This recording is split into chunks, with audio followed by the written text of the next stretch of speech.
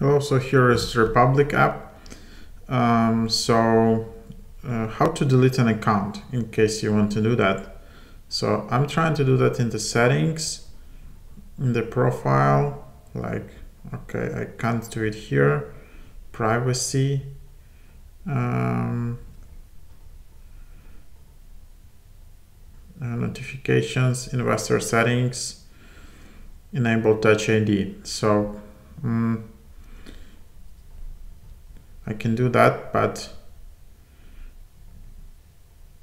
okay. Uh, so other way to do it, then I would just write, please delete my account here in the in the email. So just write in investors at republic.co and then just please delete my account.